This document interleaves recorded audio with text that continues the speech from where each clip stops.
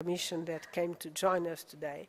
Uh, I'd like to ask uh, Mark uh, Holderness, uh, who is the Executive uh, Secretary of the CGFAR, who really has been worked on agriculture innovation.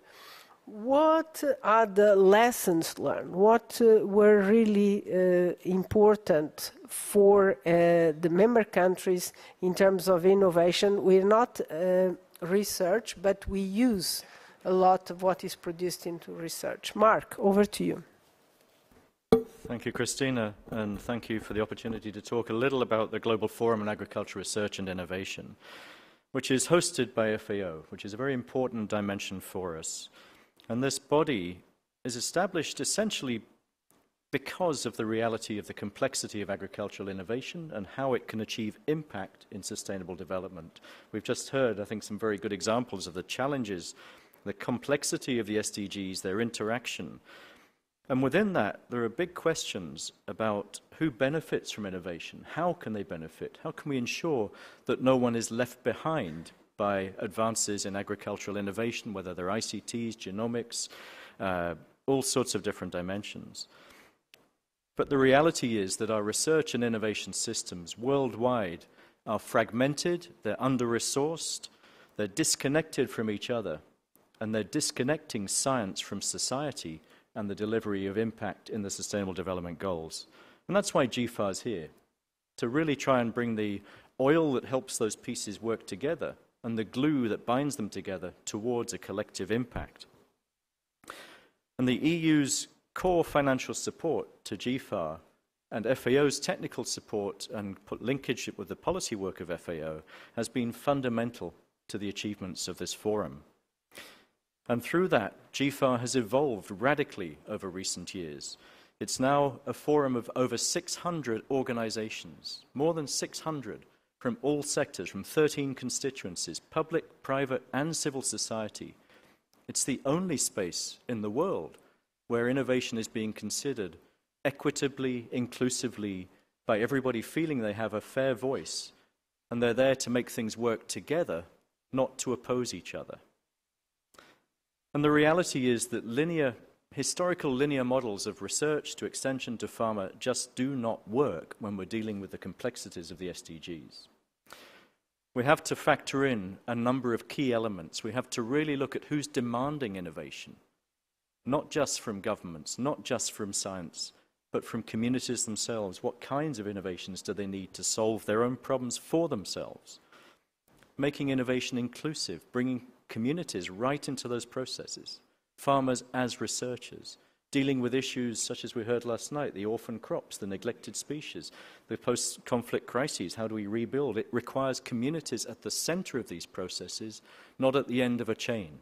And that's what GFAR is doing, is it's repositioning the way we think about research and innovation. And obviously, any new tools, knowledge, technologies have to be adapted, localized, brought into a very risk-aware context of farmers and the changes they're making. And that's what we're doing, looking at new ways of embedding innovation in development. And it's not just about production. We really have to look at enterprise, opportunity, new opportunity, particularly for youth and women, and how we can create a new world for them. And clearly, no one organization can deliver these integrated actions by itself. It's common sense. We have to work together. And GFAR provides this collective movement for the change that we need to make. And it's certainly not that GFAR is a management, a program management agency. What we do is we catalyze change through the partners, through FAO, IFAD, CGIAR, and on the grassroots level, hundreds of NGOs, public research, extension, education, etc., private sector. And that means that we're there to make things happen. And it needs action together to make these changes happen. And I think the EU, particularly, even through its own nature, is very aware of the importance and value of collective action if we're really going to achieve change. And the EU has provided key central support to GFAR, recognizing the importance of multi-stakeholder action. And it works. We've just had an external review of GFAR, and the message that that team received over and over was if GFAR didn't exist, it would have to be created. It's doing what it's supposed to do. It, it's catalyzing transformative change in all sorts of areas of agri-food research and innovation. And they looked at the outcomes from 72 of these actions that have been promoted through the GFAR networks, through the GFAR partners. A quarter of those have gone right through to changing institutions themselves. And that's what's got to happen. It's not just about individual behaviors or program changes. It's about how do we change the very fabric and infrastructure of our institutions and how they work together. And the next plan being developed by the partners, by these 600 agencies, and which the EC is, I sincerely hope, is intending support through the DESIRA program, which also cross-links with all the FAO actions, the technical knowledge and capability of FAO, is building on this further, putting farmers at the center of innovation processes, putting the communities, the rural communities themselves, as drivers of their own futures and the technologies and innovations they need to get there. Opportunity and enterprise, cross-linking with the TAP CDAIS program, which is also EU funded, which is developing national capabilities in agricultural innovation strengthening the institutional architecture. This is not a top-down process. This is an absolute grassroots bottom-up. We need strength at all levels. We need interactions. We need national innovation platforms where people are working together to solve their own problems. And these bodies need strengthening in themselves. Give farmers a voice. That doesn't just happen. We have to help strengthen the farmers' organizations and bring them in to the dialogues and planning of innovation processes themselves. And that means also more collective advocacy.